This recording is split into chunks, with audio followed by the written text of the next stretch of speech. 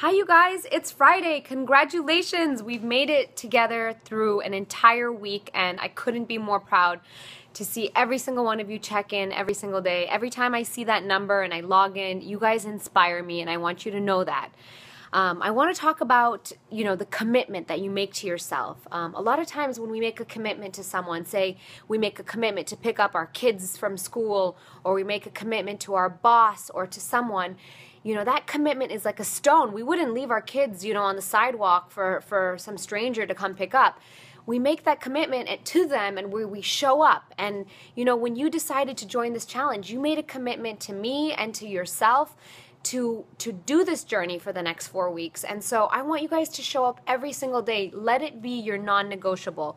Schedule that time, you know, just like you wouldn't let your kids stand on the sidewalk for hours on end if you've said you're going to wake up at 7 a.m. and do your workout at 7 a.m., just put your clothes on and push play and get it get it done with, and fulfill that commitment to yourself and to to this group and and and do the workouts. Okay, and then the other thing is I want you guys to just be patient and and um, and kind of patient with yourself. You know our journeys are not straight. They are anything but straight. They are they there's many ups and downs. There's curvy you know turns that we don't foresee.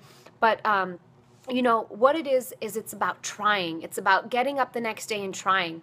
You know i had my major weight loss in 2013 where i started my health journey and i peaked in 2014 and after that peak, I was riding it and I felt great and I was feeling so fabulous for so long. And then I started gaining weight again. And it was really hard for me because here I was, you know, I had been inspiring people and coaching people. And then all of a sudden, I didn't feel like I had the solution anymore and I wasn't feeling great.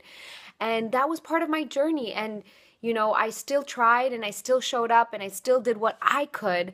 And now I'm, you know, I'm back on track and I'm feeling amazing again. But I've been patient with myself and I've been, you know, patient with the experience. And now, you know, I'm in this max 30 and literally I've fallen on my face sometimes during this workout. I mean, it is so hard, you know, and you know, I just want you to realize that when you're working out and you push yourself and you fall on your face, realize that the next time you're going to be a little bit stronger because you've reached your max.